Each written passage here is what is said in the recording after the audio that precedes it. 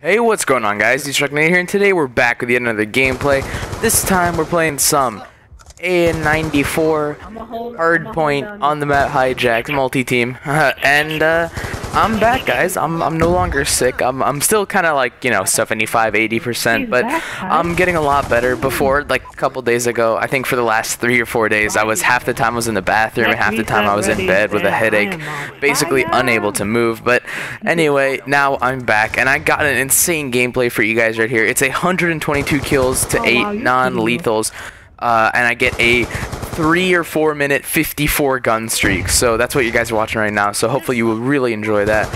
Uh, and then the thing I wanted to talk about today was uh, the just uh, kind of Call of Duty friends versus real life friends. And so basically for me, I consider all Call of Duty friends and all real life friends that they're all friends. I don't make a difference. Um, you know, I, I consider people my friends if I have their like phone number or like I talk to them on a daily basis, that kind of thing. And that's that's the case with a lot of people I play uh, Call of Duty with. You know, become good friends beyond the um, beyond just playing Call of Duty and that kind of thing. And I, I really enjoy that. I think it's a really cool thing that you can kind of meet people and uh, not even see their face basically and just become friends with them. And it's it's really cool how uh, there's so many people who are so different and we kind of all meet playing Call of Duty and we all have kind of the same interests sometimes. So I, I don't really differentiate between the two. I think they're both equal sources for, you know,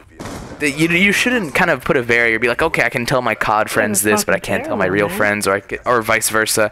I, I don't I don't think you should do that. You know, it's just it's not good, and it's not um, you'll, you'll eventually find yourself where you'll accidentally kind of tell one of your friends something you didn't mean to or something like that. Um, the only thing I usually do keep separate is uh, my YouTube channel. Like, uh, a bunch of my friends do know I have a YouTube channel. Some of my friends I've never even told, and they just know, and it's kind of funny. But uh, there's there's only maybe, I think, I'm going to say one. There's only one of my friends who I actively talk about my YouTube channel. Uh, this is real life friends, by the way. I, there's only one of them I actively talk about my YouTube channel with.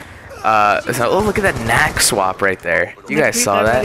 Uh, and then I, but other than that, I mean, I, I generally keep keep keep YouTube channel on the wraps. Uh, I don't I don't tell people about it unless they ask okay, about it.